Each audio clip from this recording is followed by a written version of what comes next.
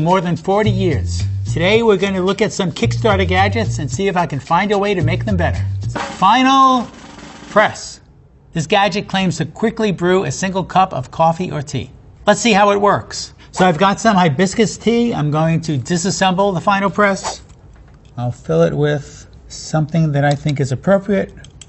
Reassemble. Hot water in the cup. And watch the magic. Immerse. I'm only going to give it a few seconds. Let that hibiscus bleed. And let's try plunging. As I pressed, I could see it getting darker. And hibiscus. I think that worked pretty well. But does it beat out a more traditional infuser? Let's find out.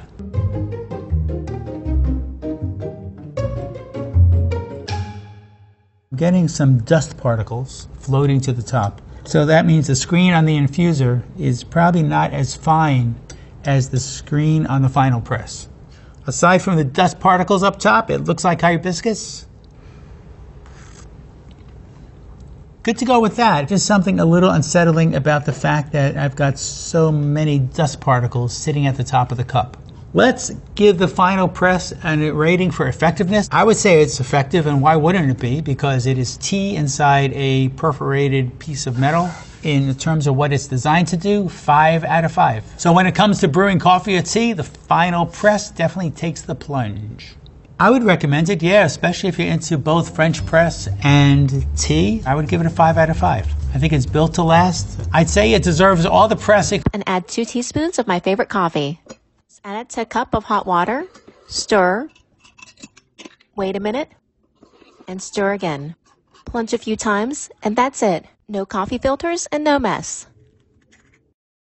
This is my teeny tiny kitchen.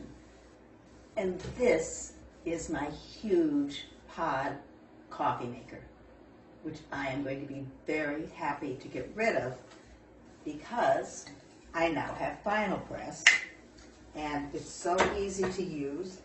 What I've done so far is I have added hot water to my cup. I have put in the final press. I stirred it 15 times. I let it sit for a minute. I stirred it another 30 times. I let it sit for a minute. And now I'm just going to put the plunger down